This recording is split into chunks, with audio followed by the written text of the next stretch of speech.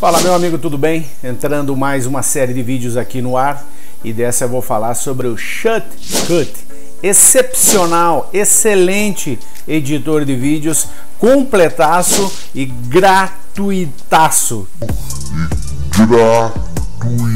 Gratuitaço. Muito bom editor. Inclusive essa primeira parte aqui da, da edição, ela foi feita integralmente editada no Shotcut. Então, como você está vendo aí, eu estou fazendo essa edição no Shotcut, é, apresentando aqui os principais elementos de uma edição um pouquinho mais avançada do que você pode, que você encontra normalmente na internet. Normalmente você encontra como usar o aplicativo, mas eu vou além aqui. Eu vou fazer mostrar para você como é que você edita, como é que você faz esses vídeos que você acompanha aqui no meu canal. Mas aqui dentro do Shotcut dá para fazer coisas muito interessantes. Gostou, né? Muito bom, né? Então agora vamos, deixa eu te mostrar aqui dentro do Shotcut essa edição básica que eu fiz para você ver as dimensões do que pode acontecer dentro desse excelente editor de vídeo.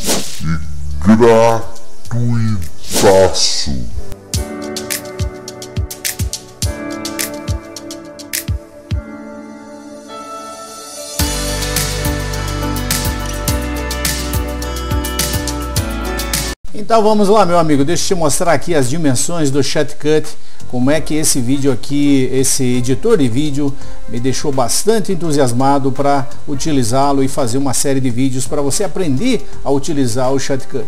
Ele é parecido com o Premiere, ele também tem muitas coisas do Sony Vegas, ele tem muitas coisas do DaVinci Resolve e ele é melhor que os software que editores um pouco mais simples. Eu diria que ele é um software de edição profissional aqui. Por quê? Vamos pensar o seguinte, você viu a primeira parte do meu vídeo que foi feito aqui dentro do Shotcut, então o que, que eu fiz aqui? Usei três trilhas de áudio, usei aqui um pedaço de uma trilhazinha de áudio, um, outro áudio aqui que é, fica embaixo, né? a gente chama de background, um, uma trilhazinha, aqui onde que aparece a, a, esse gratuitaço, eu troquei o, o, o som, coloquei uma outra música, né? e aqui no final aqui eu também coloquei, só dei uma subida na música e aqui está uma música mais baixa. Uma outra coisa interessante aqui, eu vou falar em outro vídeo lá, se não me engano, no quarto vídeo, sobre filtros. Então os filtros, você pode usar filtros aqui direto numa track inteira, ou você pode usar em específico, usar numa, um, num texto, por exemplo. Esse filtro aqui tem texto, né? ele tem um nome, ele tem uma caixinha vermelha por trás, ele tem uma série de elementos dentro desse filtro de texto que a gente chama. Eu vou te ensinar a fazer textos um pouquinho mais para frente. E ele é um pouquinho demorado, mas aqui com a minha manha você vai fazer textos bem tranquilos.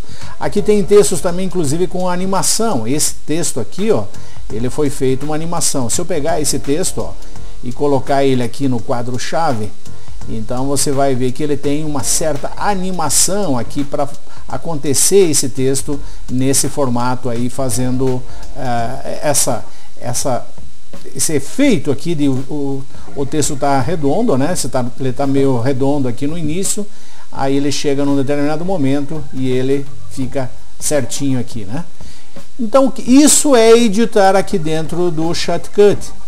Uma coisa fundamental aqui nesse primeiro vídeo. Você tem aí as tuas trilhas, tuas faixas, né?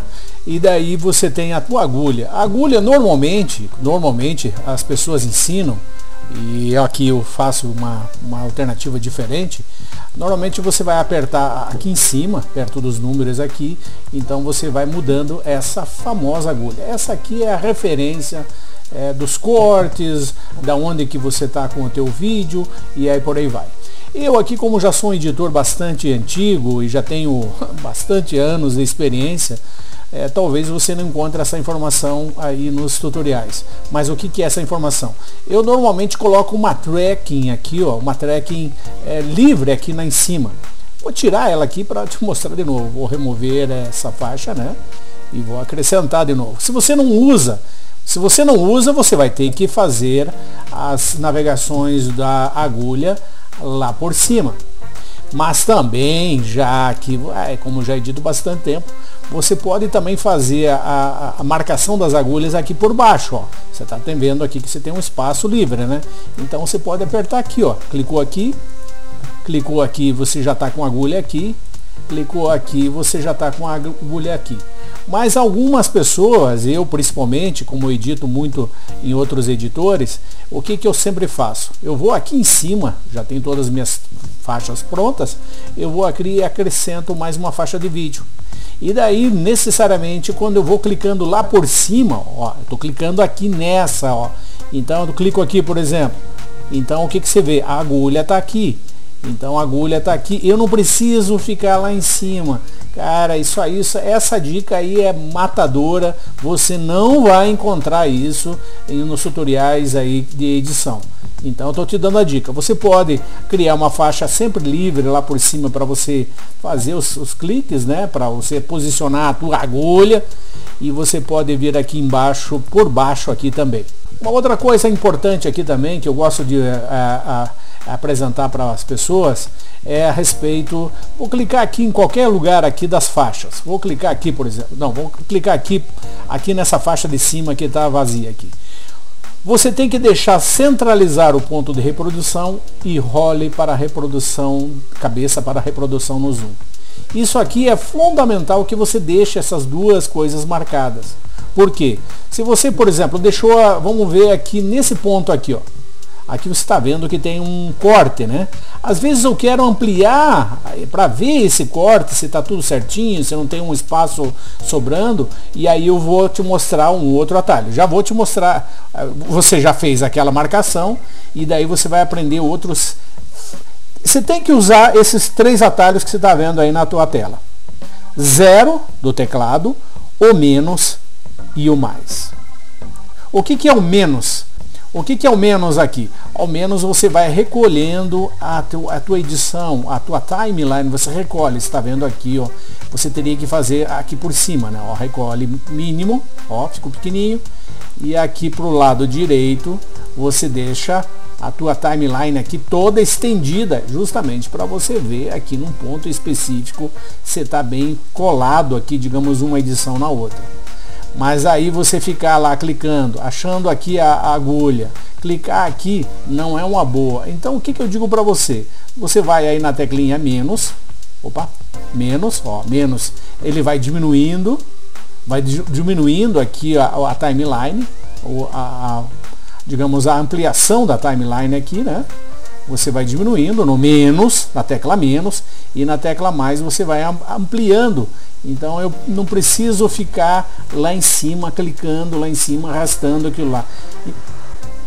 Por que, que eu estou apresentando isso para você? Para te dar agilidade na edição, senão fica muito demorado e muito cansativo, meu amigo.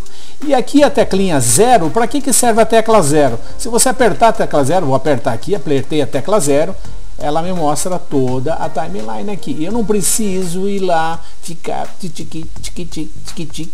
para achar aqui o ponto.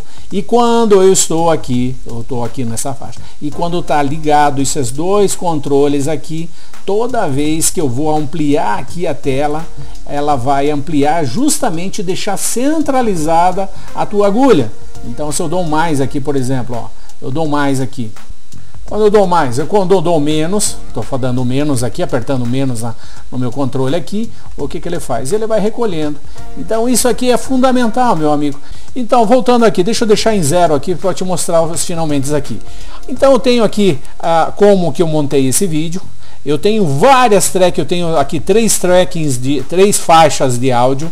Eu tenho aqui três faixas de vídeo e eu poderia colocar muito mais faixas aqui para trabalhar dentro da, é, da edição no ChatCut. Então por isso que eu estou dizendo para você que ele é, um, ele é um editor profissional. Você consegue fazer basicamente tudo o que você imagina aqui dentro de graça, gratuito, open source. Assista o próximo vídeo que eu vou te dar mais orientações e mais dicas para você editar de boa aqui de uma forma mais avançada dentro do ShotCut.